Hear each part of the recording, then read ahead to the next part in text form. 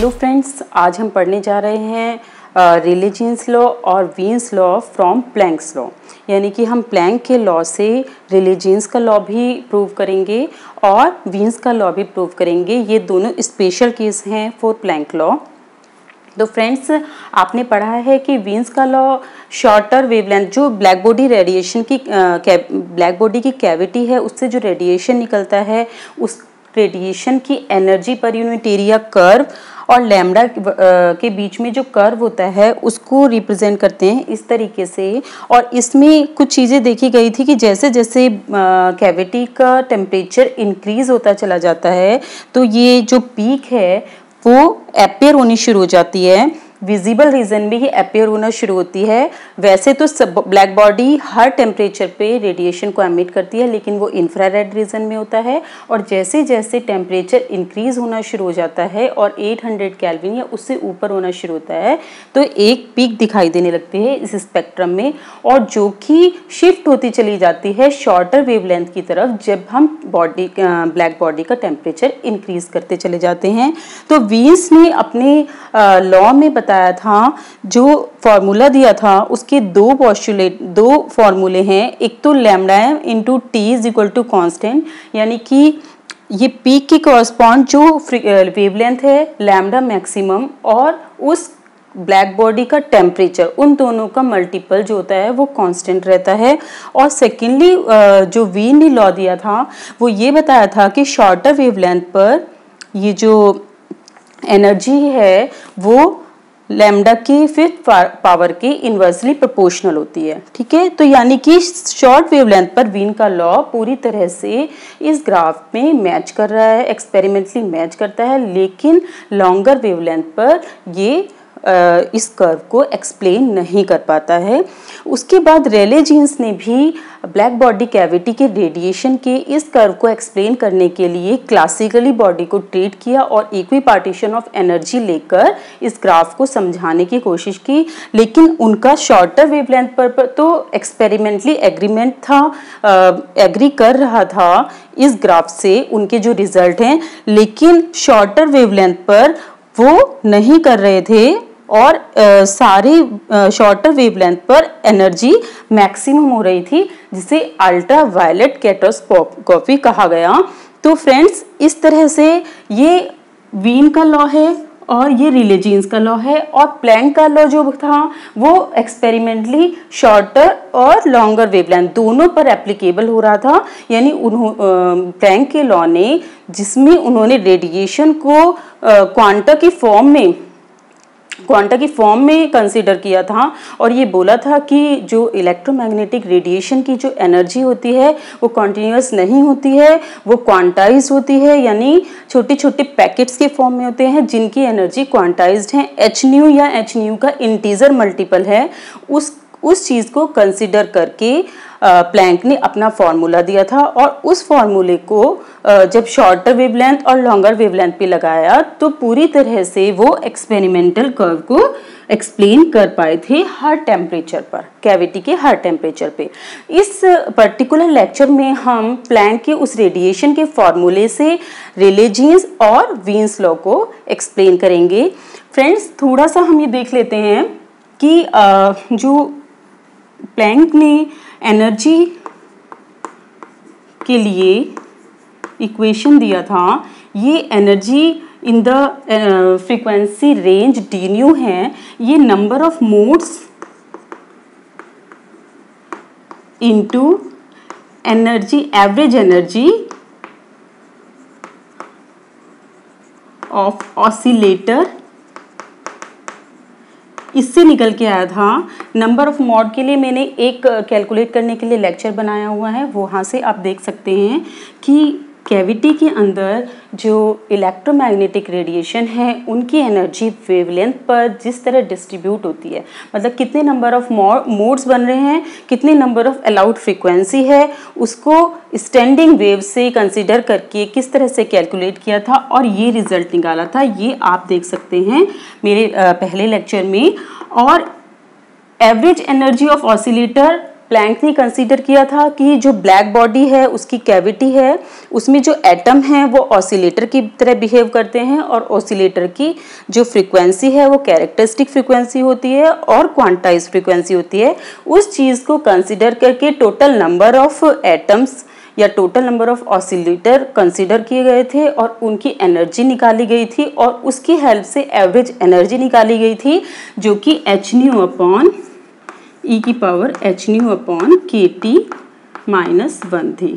तो इस तरह से प्लैंक ने in the frequency range D nu energy जो थी, उसके लिए ये एक्सप्रेशन दिया था। ठीक है?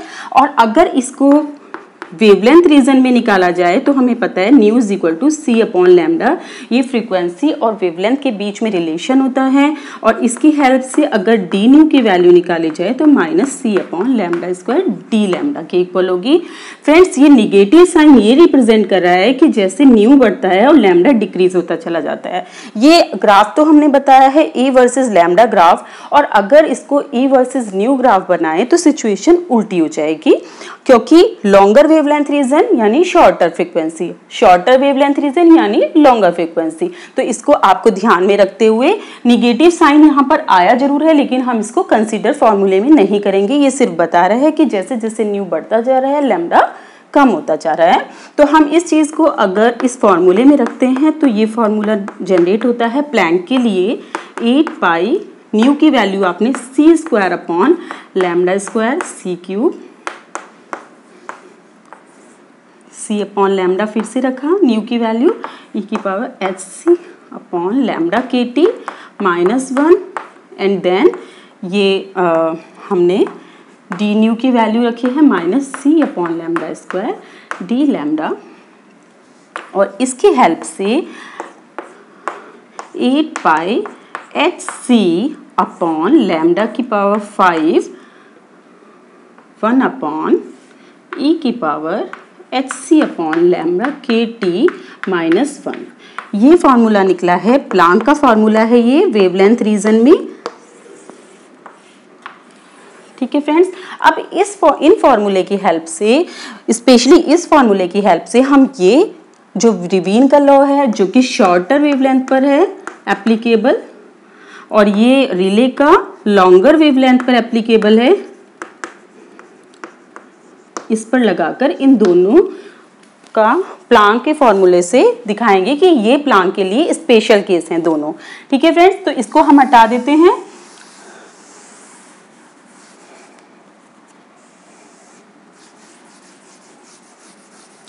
देखिए, सबसे पहले हम शॉर्टर वेवलेंथ की बात करते हैं। फॉर शॉर्टर वेवलेंथ,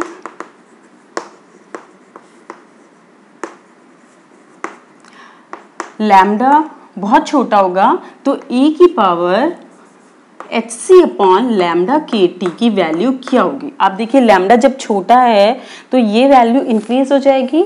और अगर हम इसकी बात करें इसमें से और माइनस सब्ट्रैक्ट हो गया। जब ये वैल्यू बहुत बढ़ गई है लेमडा बहुत कम है, इसकी पावर यानी इंक्रीज हो गई डिनोमिनेटर कम होता है तो एक्सपोनेंट की वैल्यू बढ़ जाएगी। उसकी कंपैरिजन में जो वन है वन को आप नेग्लिजिबल मान सकते हैं।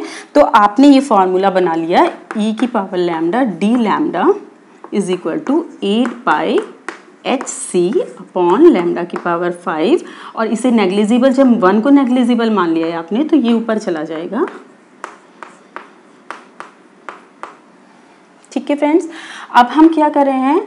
एट पाई एच सी को अगर कांस्टेंट ए मान लेते हैं। लेट दिस और एच सी अपॉन के को हम बी मान लेते हैं। तो क्या हो जाएगा फॉर्मूला ए अपॉन लैमडा की पावर फाइव ई की power minus B upon K T ठीक है? डी लैमडा यहाँ पे रहेगा ही। यहाँ पे भी डी लैमडा है, या फिर बन जाएगा ए अपॉन लैमडा की पावर फाइव ई की पावर या फिर हम इसको कह सकते हैं function of lambda T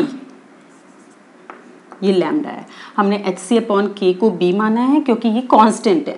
H की Planck constant C velocity of light के बोल्समैन कांस्टेंट इन सबको आपने कांस्टेंट बी मान लिया है, और अब ये बच गया है फ़ंक्शन ऑफ़ क्योंकि टी चेंज हो रहा है तो इसीलिए टी भी वेरिएबल है और लैम्डा भी वेरिएबल है। तो इस तरह से फॉर्मूला निकल के आ रहा है। तो ये फॉर्मूला आप कंपेयर करके देखिए तो क्या हुआ? वीन्स का formula for shorter wavelength Wien's के अकॉर्डिंग शॉर्टर वेवलेंथ पर एनर्जी और लैम्डा के बीच में लैम्डा के फिफ्थ पावर के इन्वर्सली प्रोपोर्शनल होती है एनर्जी और इस तरह से इंक्रीज करती है।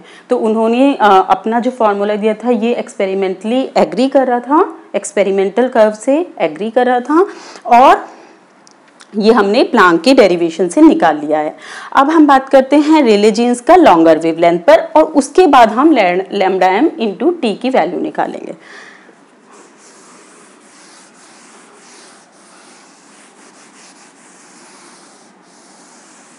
देखिए friends for longer wavelength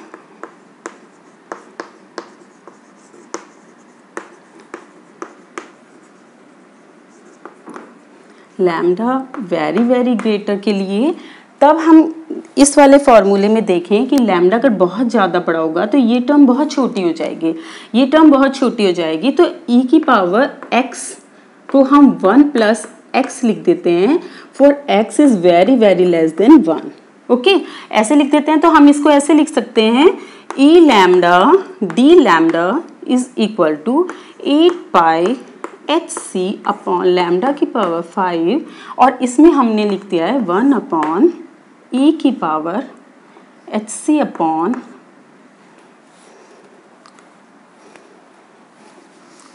इसको हम लिखेंगे वन प्लस एक्स लिखना है, वन प्लस और एक्स पावर क्या है? H c upon lambda k T minus one. तो वन से वन कैंसिल हो जाएगा और ये आपका आ जाएगा। लैमडा ऊपर चला जाएगा, lambda k T upon h c. H c से एच सी कैंसिल और ये हमारा eight pi k T upon lambda की पावर फोर।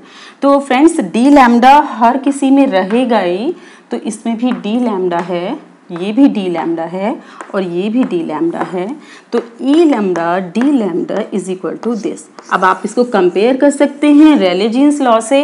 तो रेलिजियन के लॉ के अकॉर्डिंग लॉन्गर वेवलेंथ पर यू लैमडा डी लैमडा ये भी एनर्जी को रिप्रेजेंट करता है। ई लैमडा भी इसलिए कन्फ्यूज़ मत होइएगा तो ये energy radiated per unit area है और eight pi k T upon lambda की पावर फोर टी लैमडा तो प्लांक की इस फॉर्मूले से लॉन्गर वेवलेंथ पर हमने प्रूव कर दिया है। रेले जीन्स का लॉ अब हम वीन्स का लॉ का first statement lambda m into T भी इसी फॉर्मूले से निकालेंगे।